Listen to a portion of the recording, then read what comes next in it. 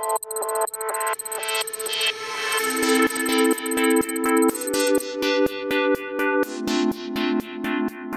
My name is Jonathan Montague and I am the Director of 5D Aerial, a newly formed division at 5D Robotics. We are focused on unmanned aerial systems, more commonly known as drones, and providing those technologies to industries such as utilities, gas and electric, construction yards, water districts, and doing it in a safe and reliable manner.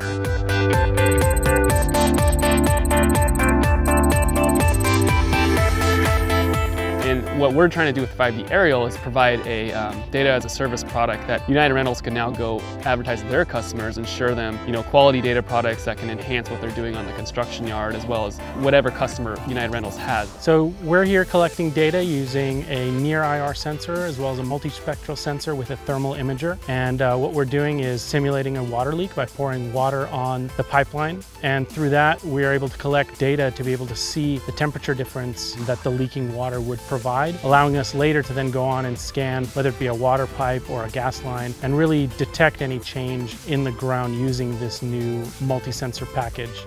What we're also doing here with the same visual imagery as well as this multispectral imagery, it lets us define problems and historically categorize that problem. So today we found a cracked cap on top of this reservoir, which hadn't been identified before. So this cap, you know, it's a security risk and now the reservoir is open to, you know, potential contaminants. And with this new technology, we can easily identify that just from a simple um, single flight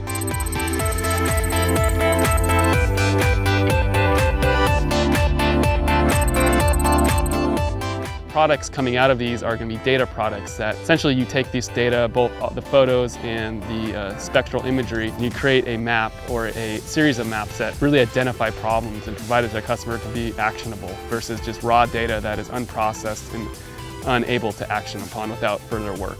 If we can take aerial shots and map that out, we can speed up survey, we can do orthographic photos, where we would normally contract out to a flight company that would do uh, orthographic photos. We can get the same thing done at a cheaper, quicker cost by using drones or UAVs.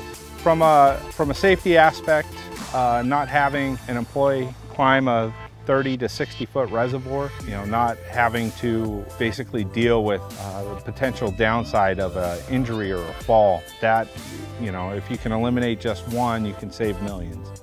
It's a very exciting thing because it's just not something that's been done before and it helps take away a lot of the human element from being able to detect a leak. You know, a lot of times what will happen is these guys will go out and walk a pipeline and all you see from it is a report. Being able to see the actual data, IR, uh, temperature changes with the actual visible light spectrum, you really have historical data for when the pipeline was scanned, uh, what has changed in the pipeline, as well as the actual data on where specifically the leak is, rather than just reading somebody's notes. 5D Robotics has, has done an extremely professional job. We were able to bring in a whole bunch of stakeholders within this and uh, show them the potential capabilities so that we can go back and discuss, hey, what's the best way to utilize this technology? By bringing in all these stakeholders and the professionalism that has taken place today, uh, it's added great credibility not only to uh, your guys' name, but to the whole process of what we're trying to do as an agency.